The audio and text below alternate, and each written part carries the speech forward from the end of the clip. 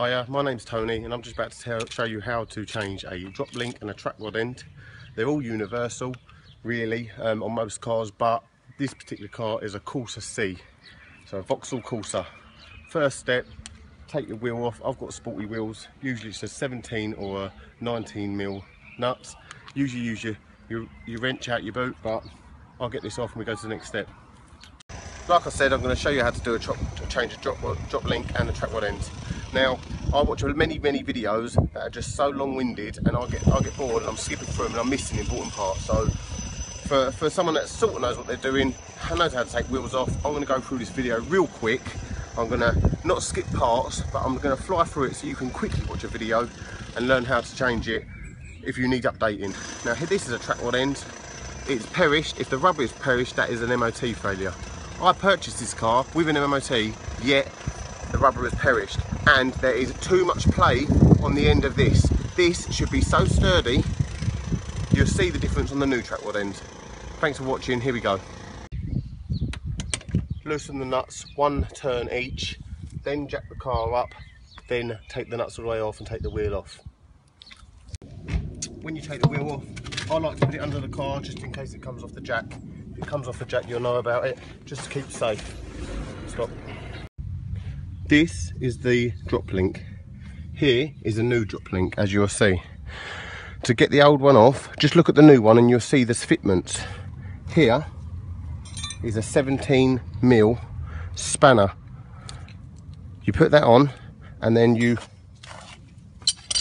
this outer one is a 19 mil hold the spanner in place turn anti-clockwise that's how you turn, take this one off. So let's take this one off now. Get your right size spanner onto the size of your inner track rod end and just push it on there and then you'll have to hold that in place. Unless it gets caught on something then that can do the holding for you. 19 on the front anti-clockwise. And as you see I have to hold it in place and start unscrewing the top nut.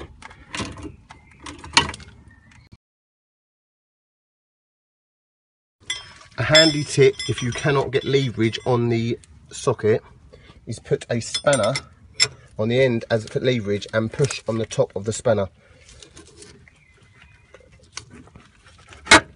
There you go. After a lot of working at it, it's a very stiff bolt. I had a bit of WD-40 on there. We've got it loose. So just literally undo it all the way and then that'll come off to get the drop link out they can be a little bit wedged. So what I'll do is I'll get a, a bar. This one is the uh, ratchet bar. And I will lever it between the drive shaft and this link here. If you get it under there and just simply lever it you'll notice it comes out pretty easy. Then you can let it go and it can, you can rest it on the track rod end. So yep that's the drop link out. And now I'm just going to replace it with a new one. So here you'll see it's held in place. This is a track rod end with no nuts on the end and I'm just going to simply slot, slot that in place. Top one first and then I'm going to loosely put the nut on. I'll show you that quickly.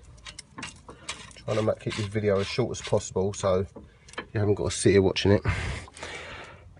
And then they're quite stiff, the new ones, but you get it in place quite straight, lever it back down again.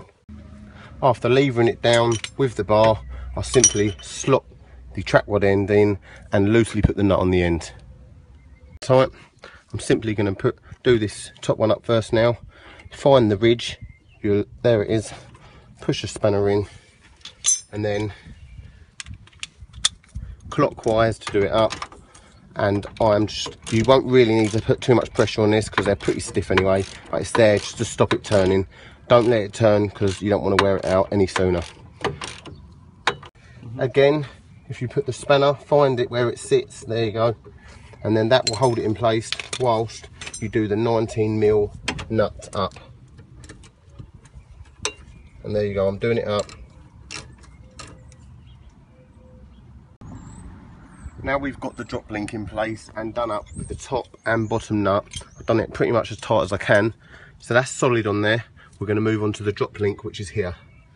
The drop link has a nut here and a nut underneath which is usually a 19 get the 19 on there and undo this clockwise so anti-clockwise from the other direction. But if you turn this clockwise that shall loosen off this nut. There you go that's off. Next here is the new track rod end. Remove the nut remove the plastic cover that comes with it. Place that down to one side this particular track rod end has a 17 mil bottom nut and it also has a nut that needs to be released here. Now a lot of people count how many turns they take the track rod end off. I don't. I just release this half a turn then I know it's got to be put back half a turn. So basically you, you release this nut that's quarter of a turn hands get that back on there. And that's half a turn. Now this nut has been released half a turn. Use a 17 ratchet. Anti-clockwise is undoing.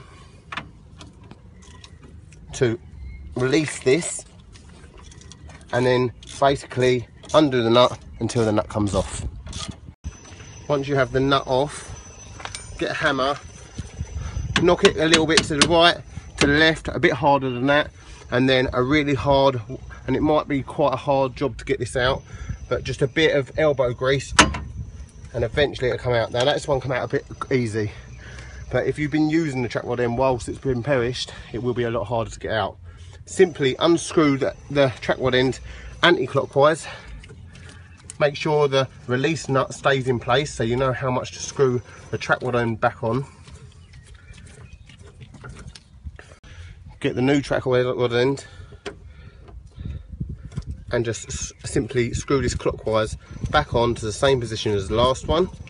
And then once this is done keep in mind that this nut needs to be turned one turn back on. Even though you're doing this the car will still need to go and get the tracking done in a local tyre dealership. And they will do the tracking and get it all back to the way it should be. Then point it in the direction you need it and basically slot it back on. Get the new nuts. And screw it back on. Screw it all the way up as tight as you can and then lock this back into place. And then the track rod's back on. Track rod ends back on. Simply put the wheel back on put the nuts back in the wheel drop the car down and then tighten the nuts up. Thank you for watching this video. That is how to change quick quick route of a track rod end and a drop link. Thanks for watching.